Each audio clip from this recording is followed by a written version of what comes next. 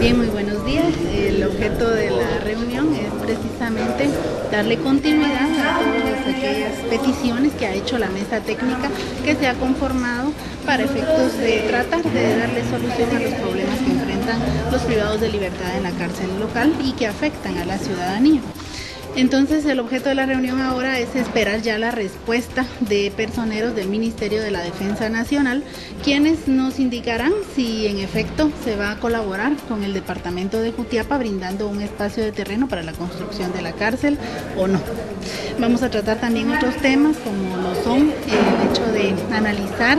el proyecto de cárcel que nos trajo el director del sistema penitenciario para poder establecer si pues se llenan todos aquellos eh, requisitos que nosotros esperábamos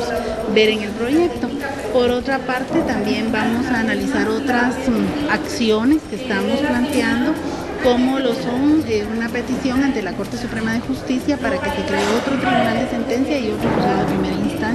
porque es muy necesario para Jutiapa, puesto que como ya lo he indicado en otras ocasiones, en Chiquimula hay tres tribunales de sentencia, dos juzgados de primera instancia penal, cuando en Jutiapa solo hay uno de cada uno, y esto conlleva que pues haya muchos procesos pendientes de resolverse, no porque no se quieran resolver, sino porque no hay capacidad en relación al tiempo y hay muy pocos jueces para poder resolverlos.